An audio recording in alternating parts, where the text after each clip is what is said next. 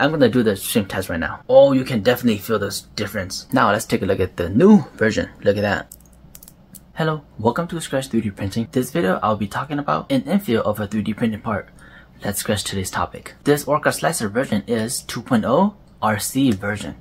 Not quite sure what RC stands for, but maybe it's like race car? I don't know.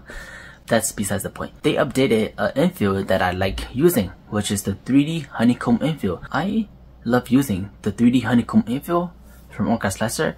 Other programs has that too. Any slicer that has 3D honeycomb, I just use it because it's very good. One, it looks cool, you can print fast on it, but this new version you can print even faster. And the most important thing is that you don't need to use a really high percentage of infill in order to cover a large surface area. I'll show you right now. So these marked red are honeycomb infill that are printed on Orca on the K1 Max. This is the original honeycomb or the honeycomb before they updated.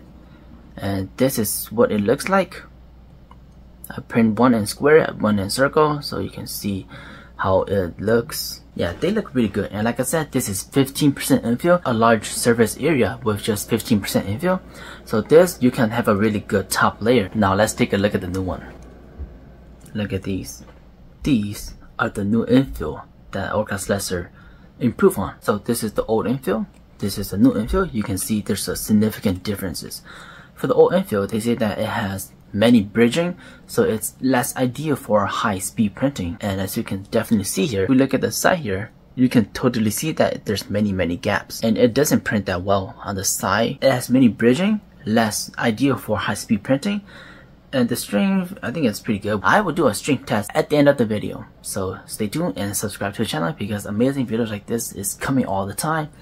New features, new 3D printing stuff, amazing projects. So yeah, subscribe to the channel. It will make my whole week. Thank you so much. Now let's take a look at the new version. Look at that. The side here it stacks very nicely. There's no gaps at all. It just stacks very, very nicely. And this actually looks a lot cooler and a lot better in my opinion. This is with less bridging. It's ideal for high-speed printing. It provides better strength and print quality. And I can totally see that. I'll put the two side by side here so you can see the differences. Look at this. The, the new one, the old one. Okay and you can definitely see that the old one has many gaps, stringing and stuff like that. This one just print perfectly, nothing. It's like it's stacking very nicely, right? And by the way, these two are printing using the exact same setting. This was just printed with the older version, the beta release version, and this is just printed with the RC version of Orca Slicer and the turnout is so much different. They did not mention this on the documentation of Orca Slicer, but their new reamped version of 3D Honeycomb actually reduces the amount of material used. These two piece printed uses 13 grams of filament, and these two piece printed using only 10. That's like 3 grams left, so I, if you do the percentage, it's about what, I don't know, 3% less? Maybe, I don't know. Yeah, I think it's 3% less out of 100. So 3% less infill for this and you can print faster. These took 30 minutes and these took 20 minutes. 10 minute differences and they still look really good. The print quality is actually really nice and the strength, I don't know about the strength yet because this is actually more solid than this but I will do a strength test at the end of the video to see which one is actually stronger. So yeah, that is pretty much it with um, this infill that they updated to this new version. They also fixed many bugs too. If you want to see the whole thing, I will leave links down below so you can go and check Orca Slicer for yourself. But I think it's time for the strength test of this. I don't have any like special tools or anything like that. I'm just gonna use my hand and just trust me on this on which part has more strength. Let's start with this square on the old one. The old one has this mark and you can you can just tell by looking at the part it's not the best quality. I'm gonna do the strength test right now. Oh, okay, I cannot, uh, you cannot bend it in the middle at all. I'm gonna try bending it like this. Oh, you can hear it, you can hear it. Ooh, look at this. It has deformed. Looks so cool. Can do it the other way? Oh my gosh, this this infill is very strong. oh my gosh, I can't even break it yeah, this is why I love using 3D honeycomb. oh, okay. Yeah, you, you can't even break this at all. I can try my hardest. Oh, kinda got it. Okay.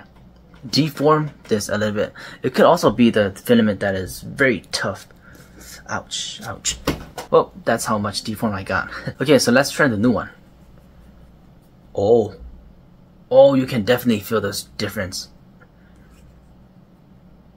Oh my gosh, okay.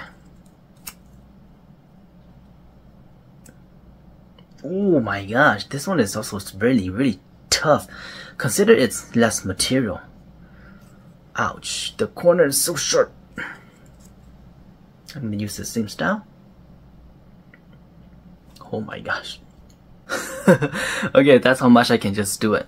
And this is how much I can do it on, on the older version. So it is true that the new version is so much more stronger. I think it's the way that the layer are bonding with each other very nicely.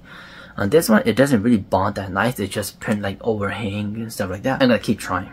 So hold the corner and then just push in the middle. It seems that is the best way to do it. Yeah, that is just how much I can do it. You can see the total difference. This one is way bendier. I think if I keep doing it, I can actually break it, break this apart, but my hand, look at my hand. Oh no.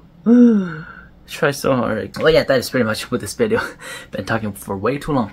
Yeah, the new version, I love it so much. It uses less material, it's more stronger, you can print faster. Oh, by the way, these are printed at 200 millimeters per second, and the quality of this is just two times better than this, or even 10 times better than this. So, yeah, that is pretty much it with this video of me looking at these infill, honeycomb infill. I love using these. I just, I just use these all the time. I don't use any other infill. That is pretty much it with this video, and subscribe, and thank you so much for watching. As always, keep on 3D printing.